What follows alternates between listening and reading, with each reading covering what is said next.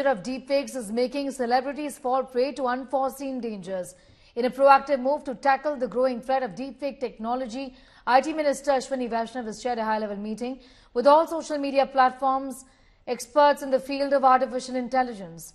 Vaishnav said that all the involved parties have agreed on the need for clear actionable work in areas such as detection, prevention, strengthening of reporting mechanism and raising user awareness. On Wednesday, Prime Minister Modi raised the issue of threat that the society faces due to deepfakes. Claiming that deepfake is dangerous, the Prime Minister said the technology needs to be saved before it reaches people. Rashmika Mandana, actor Kajol, Katrina Kaif, all of them have been victims of the new online menace called deepfake.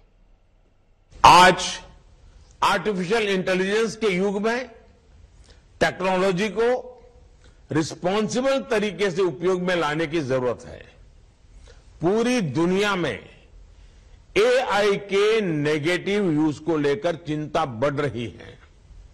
Bharat की स्पष्ट सोच है कि AI के वैश्विक regulation को लेकर हमें मिलकर काम करना चाहिए। डीप फेक समाज के लिए, व्यक्ति के लिए कितना खतरनाक है इसकी गंभीरता को समझते हुए हमें आगे बढ़ना होगा। हम चाहते हैं कि AI should reach the people and it must be safe for the society आज सोसाइटी में एक नया खतरा उभर के आया है, वो है डीप फेक इससे हमारी सोसाइटी को नुकसान हो रहा है हमारे सोशल इंस्टीट्यूशंस को नुकसान हो रहा है।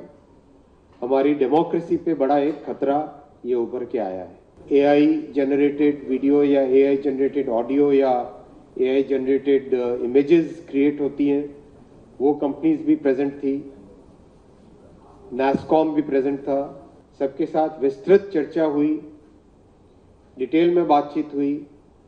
सोशल मीडिया प्लेटफॉर्म्स ने अपने इंटरनेशनल एक्सपीरियंस को भी शेयर किया और सबने क्लियरली इस खतरे को, इसकी गंभीरता को स्वीकार किया।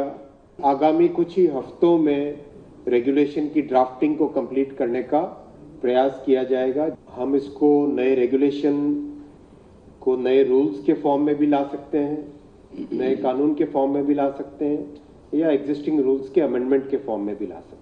The minister, in fact, had a meeting with all stakeholders on this entire issue. That issue, in fact, continues to be the government is, in fact, addressing the problem of deepfakes, which the Prime Minister said is a threat to the society.